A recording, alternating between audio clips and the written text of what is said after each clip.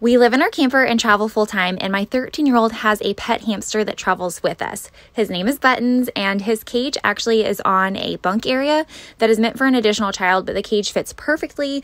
And they have this curtain that closes in this bunk area so they have the privacy and the space all to themselves.